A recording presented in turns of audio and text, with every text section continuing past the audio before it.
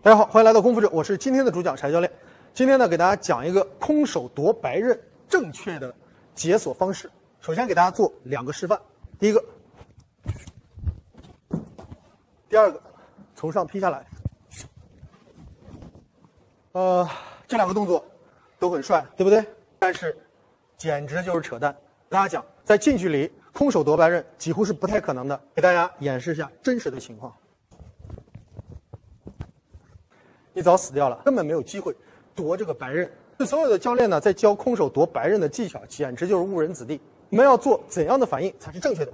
首先，在对方要用刀攻击你之前，你要想着安抚对方的情绪。对方可能是要你的财物，你就该给人家什么就给人家什么。你找机会转身逃跑离开，或者在对方靠近的时候，我们用长距离的攻击方式，用脚踢他的裆。踢完之后，对方没有攻击性了，我们转身立马逃跑，这个是非常非常关键的。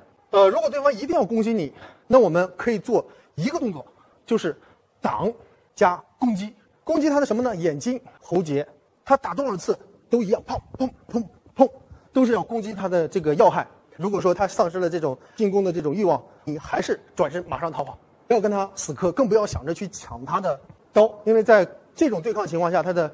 肾上腺素会飙升，他会感觉不到疼的，这才是正确的防刀的方式。